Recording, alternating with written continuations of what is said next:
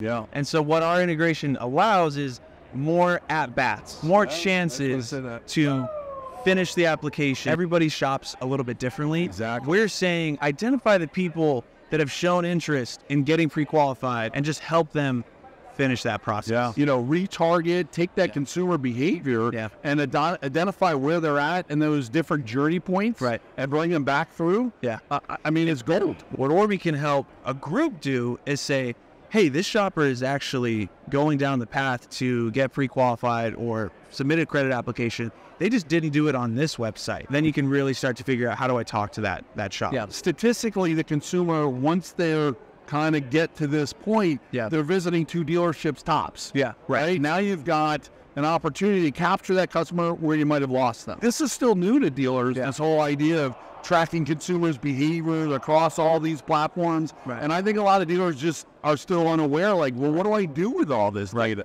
And it's a good thing you guys to do that. And you guys are obviously on the forefront of doing that. So, yeah. Appreciate that. Thanks for having me. Of course. Thanks a lot. All right.